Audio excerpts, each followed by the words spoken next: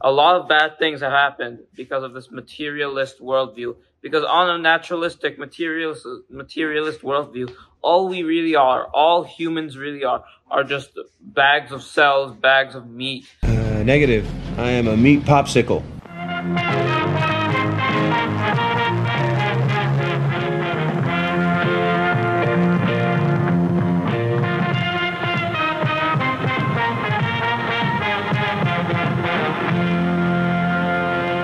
Welcome back, everyone, to Bridge the Divide, where I examine irrational beliefs, the irrational behaviors that often follow, and how we, with education, rationality, and reason, can bridge the societal divides that they create. Today, we're going to take a look at a video from the channel Om Seth, where the host, who, in order to avoid sounding like I'm constantly entering into a state of deep meditation, I'll simply call Seth, makes the claim that atheists simply aren't being honest with themselves. Which, of course, on its face, is a really weird claim to make, so it probably means that Seth here thinks that being an atheist entails holding to some specific philosophical or scientific position that it actually doesn't. Now, I don't know too much about Seth's personal religious leanings because after going through his content, I see that he plays those cards pretty close to the vest. So at best, given the extreme nature of the subjects of some of his videos, I can pretty much conclude that he is a staunchly conservative fundamentalist Christian. And while that might give me some sort of a sense as to how he's going to approach this subject, if Seth's ultimate goal is to demonstrate how atheists are somehow deluding themselves by not being convinced that a God or God exists, then none of that is really going to play much of a role here because it's evidence that we are in fact looking for. So let's dive in and see exactly what the kid has for us. And yes, before anybody points it out in the comment section, I am fully aware that Seth is only 17 years old, so I will begrudgingly do my best to go easy on him. I'll believe that when my ship turns purple and smells like rainbow sherbet. What's up, guys? In this video, I'm going to be talking about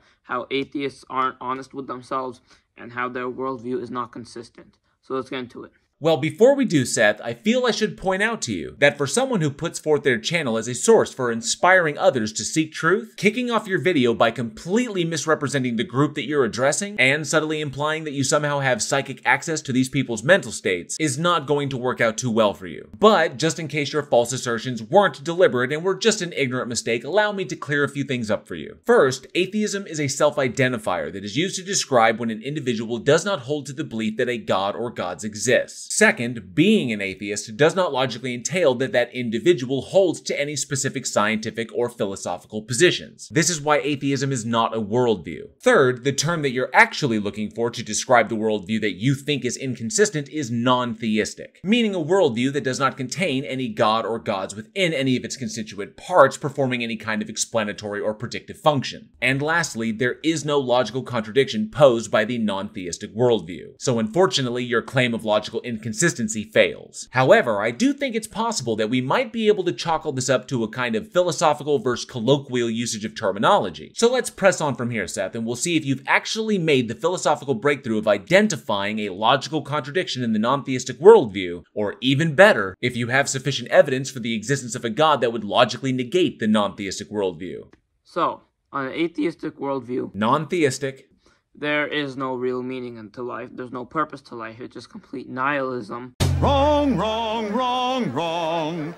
Wrong, wrong, wrong, wrong. This is already starting to sound eerily similar to that video that I collabed with The Skeptic on. No, Seth, being an atheist does not entail a position of nihilism of any stripe, and asserting that the only two logically possible states are subjective meaning as dictated by a god or no meaning at all would of course be a false dichotomy. When it comes to deriving things like meaning, value, or purpose, instead of deriving these things from the subjectively interpreted assertions made in an ancient collection of books, and how the authority figures in our lives interpret those assertions for us during our formative years in the context of a worldview with a God figure that cannot be demonstrated to exist. We can simply derive them from ourselves. Now, I know, Seth, that you're likely basing your conclusion on the very, very weird notion that if things like meaning and purpose and value are themselves subjective, meaning mind dependent, then that renders them completely illusory and therefore non existent. Which, of course, is false because these things still exist as conceptualizations in the mind of the individual and therefore have value to them. One thing that's really important to remember here, Seth, is the differentiation in the context in which we can use the word objective. Objective can either mean a proposition that is true, independent of the mind, or that something is true in accordance with the justification of holding to a subjective position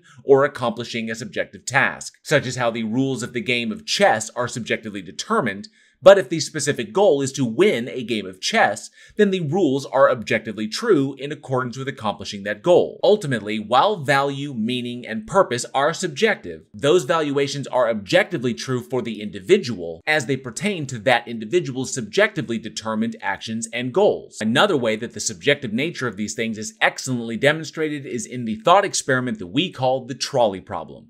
I won't kill you.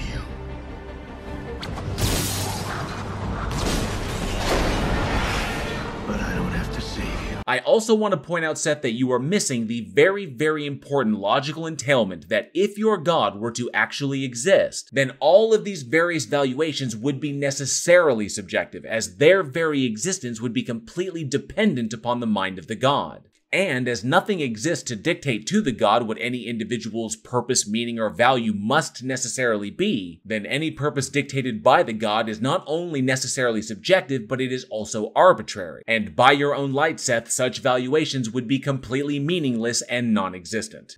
because you know we're just bags of meat something exploded 14 15 however million however many billion years ago it was While I'm fairly certain, Seth, that you don't really care that much about cosmology, it's important to point out the possibility that your improper conclusions may be a result of science that's been misrepresented to you. First, nothing exploded, it was an inflation event. And second, current estimates based on the most recent predictive modeling indicate that that inflation event took place roughly 13.8 billion years ago. If you're going to open the door to scientific claims, Seth, then it is really important that you represent them accurately. And here we are now. And that just doesn't work If you are asserting that what exists today could not possibly exist under our current predictive models, then you either have to show the logical contradiction or provide the evidence that justifies your inclusion of a specific mechanistic causal factor that would make it possible. Put simply, like I mentioned before, you must first present the evidence that your God actually exists before you can assert that your God actually did anything. And until you're able to do any of those things, your assertion is just an argument from incredulity. And on a personal note, your inability or unwillingness to understand the current science that explains these things is not something you should be flaunting as a virtue. that's and then they still say that we can make up our own meaning we can have subjective meaning Yeah, because the fields of cosmology and psychology are not even remotely related, so I have no idea why you would think that. but that doesn't make any sense because a lot of these a- these atheists they say we need to follow the evidence we need to seek the truth and i agree that we need to follow evidence and seek the truth Okay, so we seem to be on the same page. Socratic method for the win. Socrates. Hey, we know that name. Yeah. Hey, look him up. Oh, it's under Socrates. However, because you yourself are operating from a theistic worldview, then that sentiment would imply that you have some evidence to present that your God actually exists. Are you prepared to do that, or are you just going to stick with the logical fallacy route? but they're saying that and then they're not seeking the truth because they're not being honest with themselves Once again, Seth, you do not have psychic access to mine or anyone else's minds. So you have zero justification to assert what I am or am not being honest about. Unless, of course, you can actually demonstrate how any assertion I make deliberately misrepresents reality. In reality, all you can really point to is that my conclusion is different from yours, which would then, of course, demand an exploration of our justifications. My justification is predicated upon the independently verifiable evidence that allows us to generate highly accurate predictive models. I'm ready to hear your justification for your claims anytime now. and they're saying okay we should just make up our own meaning to make ourselves feel better about life While that's a little more reductive than I normally would like, there is some psychological truth to that. But the interesting thing here, Seth, that you strangely seem to be missing is that you are in fact doing the exact same thing. You deriving your personal valuations or even your very conceptualization of a god from a specific ancient collection of books is more appealing to you than what you think is logically entailed by not doing that. Because you yourself have fallaciously concluded that without a god, everything is reduced to nihilism, you are literally siding with the choice that makes you feel better. And if it's not a problem for you to do it, then how could you possibly hold that it's a problem for anyone else to?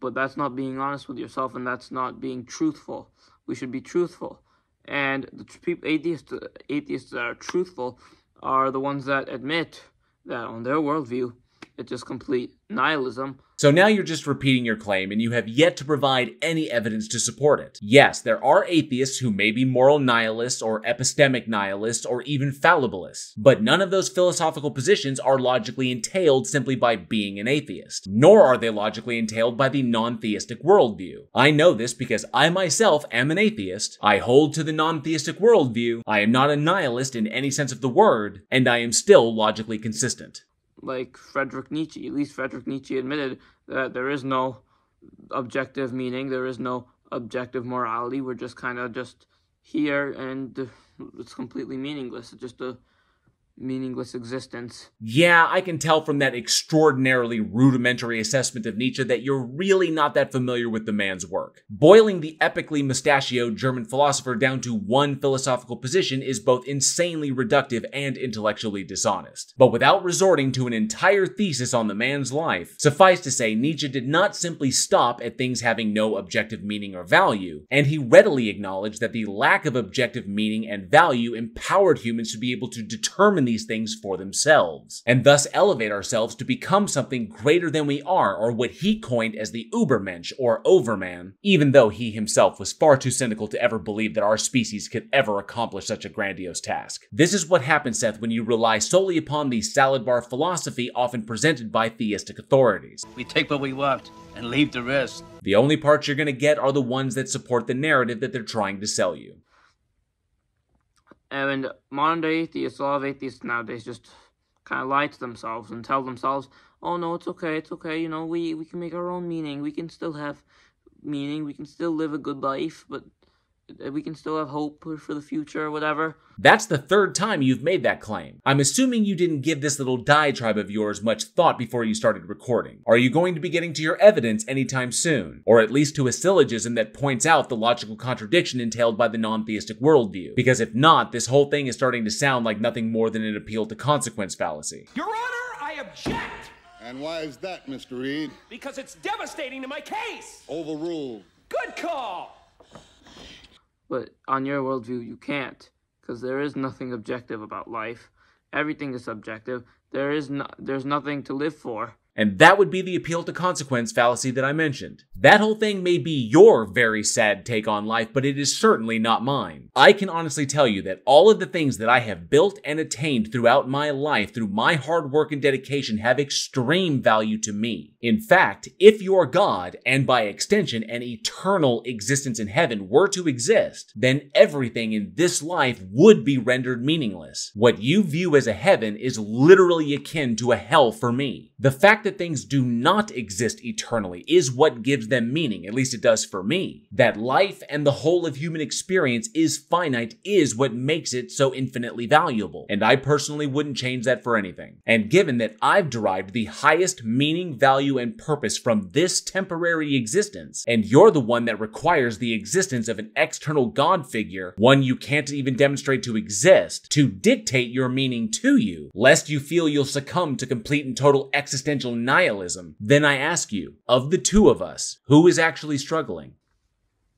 And they also say things like that one of the most common arguments for atheists is the argument of evil. Yes, the problem of evil does indicate that a specific version of a god cannot exist. And while some atheists may use the Epicurean trilemma as a justification for their position in response to the assertion of that specific god, the trilemma itself does not logically entail atheism or even a non theistic worldview, as someone could acknowledge the trilemma and still be a deist, or they could just do what the Muslims do and acknowledge that their god is not all good and thus eliminate the problem in its entirety. And they say evil exists, therefore God isn't real, because why would God allow evil to happen? But then, uh, but they're assuming that there's a such thing as objective evil and objective good, and they have no way of proving that on their worldview. Sorry, Seth. It seems you've mixed up what an internal and external critique are. The problem of evil works as an internal critique, which means that it operates under the assumption that certain aspects of the theistic worldview, namely the attributes of the god, are true. It does not function like an external critique, in which appeals are made to standards that are not necessarily accepted by the worldview in question. I myself am a moral relativist, so I don't hold to any mind independent form of what we call good or evil. However, you do hold that these things are objective in your worldview and that a God defined in a very specific way exists, which means that there are things in your worldview that can be exposed as being logically contradictory. All right, so that's the problem. Like they they say, oh, suffering is bad. Why is suffering bad? Well, now you've switched from evil to suffering, which are completely different. I'm starting to think that you just grabbed these talking points from someone like Frank Turek or Made by Jimbob. Big mistake. Which, if you did, would fully explain your inconsistency and the total lack of a presentation of any evidence. Who says it's bad? Why why is suffering g- g- bad? And they say, okay, if things benefit society, it's good, and if it makes people suffer, it's bad. What is benefiting? What is beneficial? What is good? What is bad? They just go in circles and they can't answer it. They can't answer what's good and bad. Actually, we can, and if you'd even been bothered to actually talk to an atheist, your mistake could easily have been avoided. Typically, what we refer to as good or evil are those actions that consequently result in either an increase or decrease in well being at both the individual and societal level. And yes, what those specific actions are are subjectively derived and subjectively agreed upon by the collective. Still, there's no actual problem here, Seth, which means that all of this is just another appeal to consequence fallacy. That you don't like that it's subjective is not defeater and is a personal problem that you yourself must reconcile. So that's the main problem with atheism. They just their arguments are they can't use a moral arguments because they can't even prove that morality exists on their worldview. Okay, that doesn't even make sense. Morality is defined as the set of principles concerned with the distinction between right and wrong or good and bad behavior. But notice how that definition does not include what the terms good and bad themselves are indicating. So if a person possesses a set of principles concerning that distinction, then morality exists. This just seems to be an extension of how much you personally do not like the prospect of morality being entirely subjective. But once again, that is not a defeater for the non-theistic worldview because materialists they most of them are materialists obviously you can't get morality from just the physical because morality is not a physical thing. Well, that's just a lie. Because morality and the moral frameworks that we subscribe to come from our minds, and our minds at their foundation are emergent properties of our brains. It should also go without saying that atheism does not logically entail the position of materialism, naturalism, or physicalism. We're still waiting for a defeater here, Seth. It's not something that you can look that you can look at, you can see in a test tube.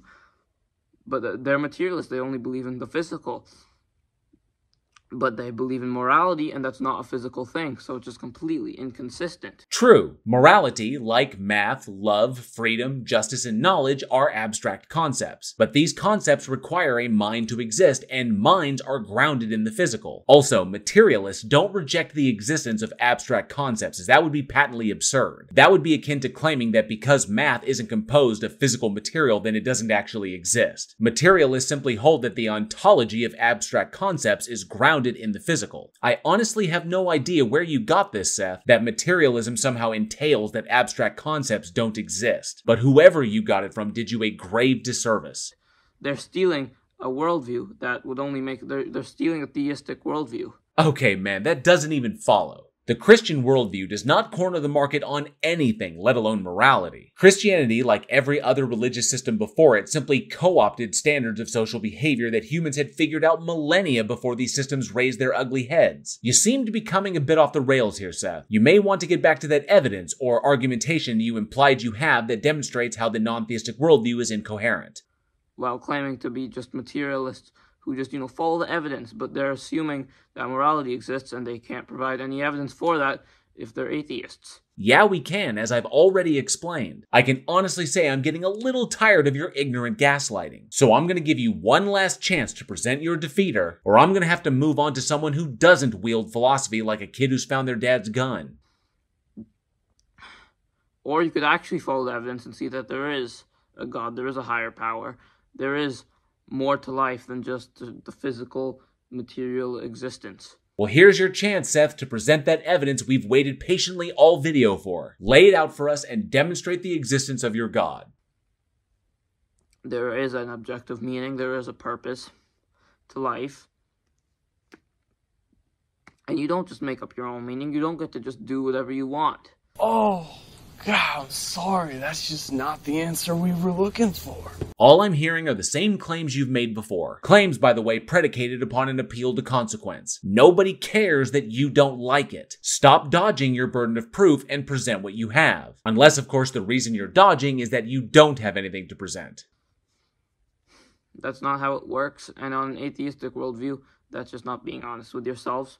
So, you should be honest with yourselves and say, yeah, everything is nihilism if you want to be an atheist. And we're right back to square one. More gaslighting and complete philosophical bankruptcy. But to be completely honest with you, Seth, I really didn't expect much more than that. And we're gonna go ahead and skip this last section because it's just Seth once again confusing internal and external critiques, and then repeating the utterly erroneous claim that atheism entails that moral arguments cannot be utilized against God concepts. I also have to point out that Seth actually did another video in response to the multitude of comments pointing out how wrong he was in this video. But in that one, he just arrogantly doubles down on his original claim that atheism logically entails nihilism and winds up further entrenching himself in his philosophical bankruptcy. Remember how in the collab I did with the skeptic, I explained the psychological phenomenon that hitting someone with a deluge of facts is more apt to entrench them in their position than convince them otherwise? That's pretty much what his response video was. Now, moving forward, I readily acknowledge that Seth's young age likely plays a major factor into his lack of understanding of these various philosophical topics that he's addressing, and that as an impressionable theist, he's likely just regurgitating the same nonsense he's heard a hundred times before from the various authority figures in his life and the various theistic channels that he is likely subscribed to. But even with that in mind, I think that this video provides a fantastic opportunity to bridge the divide. It's obvious Seth possesses a major interest in these topics, and given how little he understands about them, that puts him in a most advantageous position, as he now has the opportunity to dive into these topics and learn about them in detail. This way, in the future, he can more readily recognize things like the various fallacies he committed, and he'll be able to recognize how others around him are committing those fallacies, and he'll be less apt to commit them himself. I also think it's a great opportunity to open the lines of communication because, while I could be wrong on this, it seems like Seth has never actually talked directly to an atheist and asked them questions about the various positions in their worldview. Remember, Seth, as much as some people may try to convince you otherwise, not knowing something is not a position of weakness, it's actually a position of strength because not knowing means that you have the opportunity to learn something new and thus apply it to your worldview. And it is through that exploration of new information and the mutual exchange of ideas that you'll be able to actually encompass the message of your channel and will finally be able to make the cohesive progress that I'm certain that we both want to see in the world. Thank you all for watching. I hope you enjoyed the video, and if you did, please like, share, and subscribe, and hit that bell for notifications. And be sure to leave a comment below. I love reading your responses, and those interactions help with the dreaded algorithm. Don't forget, July is National Minority Mental Health Awareness Month. A link to where you can support these important efforts is down in the description. And if you love scary movies, be sure to check out me and my filmmaker friends over at the Week in Horror podcast, now in our fifth season. Everything you need to become a channel member here, get yourself some official Bridge the Divide gear, or support the podcast is down in the description. Once again, thank you all so much for your continued support of this channel, and as always, be safe, be excellent to each other and together we can bridge the divide.